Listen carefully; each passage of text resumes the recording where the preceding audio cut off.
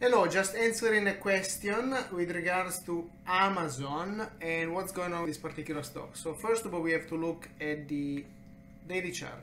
Here's the daily chart. Price has been slammed significantly since it made the high here. Uh, back in September, it was 20, 22, big drop, wave 1, wave 2, wave 3, wave 4, wave 5, a bigger pullback that came up to cross above the 50 and then another rollover.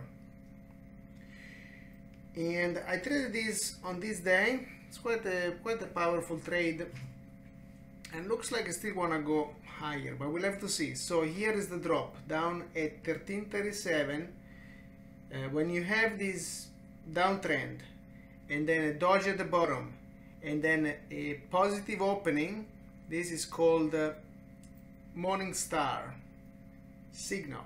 So it's a bullish signal. Following day price didn't quite gap up but held the support at um, uh, 1430 open above the area came down tested the 1388 held and, and moved up. So this was a bullish this was a, a hammer. Indecision yesterday or Friday and today it's upper resistance 22 uh, 1523 so this is a key area. Price is above the 8 EMA that's a positive indication. Now it's forming a, um, a pullback. This could be a bear pullback. So if market drops this could also go lower.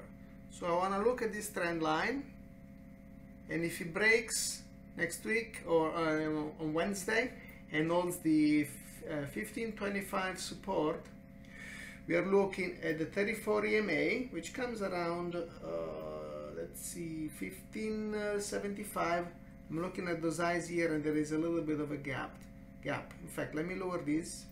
So 1575 and then we have some other resistance here.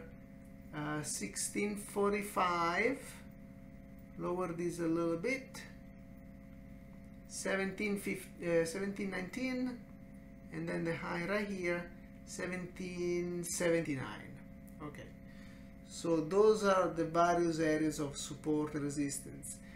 Resistance. And the support I want is seven, uh, 1475 to hold. Now this is the daily chart. The market is still open so we don't know yet how it's gonna close. And it's the end of the year. Then let's look at the hourly. Hourly chart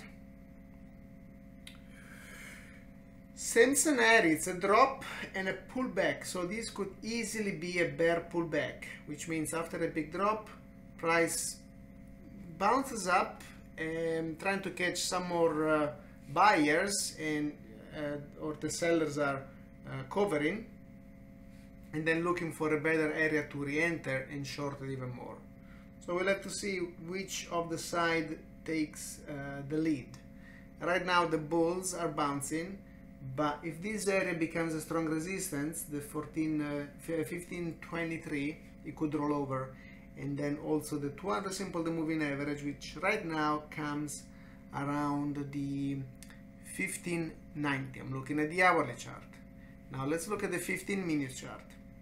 It's very similar. Very similar. Now the 15 minute chart it's holding the moving averages let me look at this low right here. Where is it?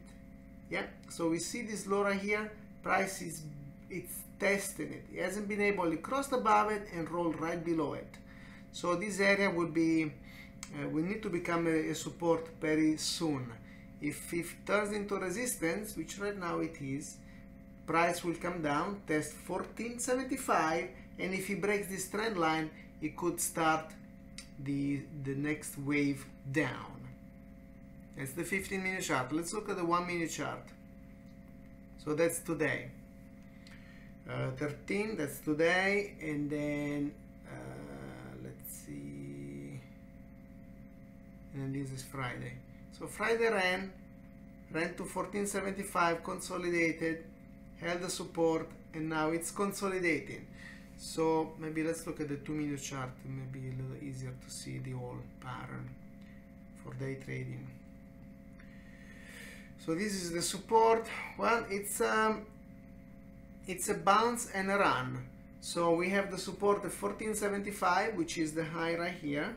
Let's see actually exactly. To the penny will be uh, 1473.16 so if this area holds this is a shot to make it to the 1600 and maybe 1700 but if this area fell it will come down to test 1434 and then 1388 again the one minute chart the one day chart. Let's clear it up see if we see okay so a chart without lines.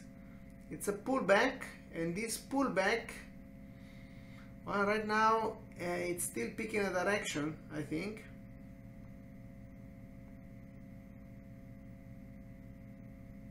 This is a strong support 1355 so as long as 1355 continues to hold this could make higher uh, a higher movement. But we have to pay attention to this trend line. There. If price holds this trend line down here which is a long-term uh, let's see look at the weekly the low right here. The low here and the low here. So this trend line is a strong uh, resistance uh, support which has held price was able to cross right above it. It needs to continue to hold as well as the support right here at uh, 1350 1380 and then if we, we can take out this trend line and price is able to cross above the 1618 and hold the 50 simple moving average there will be a breakout. So after a breakout and you see some volume coming in good volume coming in then this could run. 1769 um, uh, let's see 1892 and then again 2000 okay hope that helps. See you inside. Good trading